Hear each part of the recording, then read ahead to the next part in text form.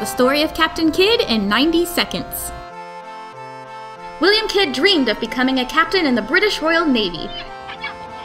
In 1695, he sailed to meet with the King of England. The king said no to a job in the Navy, but gave him a secret mission instead hunt down pirates and return stolen treasure to Britain. Kidd searched for Oh. months but didn't find any Oh. pirates, Oh, then, in the Indian Ocean, he spotted the Quedagh Merchant. Kidd thought he'd legally captured a pirate ship. He didn't know the ship was secretly backed by a British company. Uh oh. Kidd was on his way back to Britain when he found out he was wanted for piracy. He was sure he'd done nothing wrong. He got a faster ship from friends near today's Dominican Republic and sailed for Britain to prove his innocence. He left the Quedagh Merchant with friends.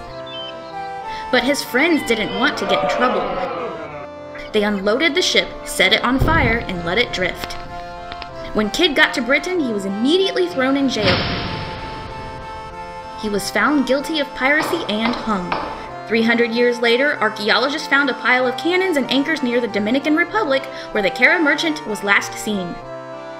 Could this be Captain Kidd's ship?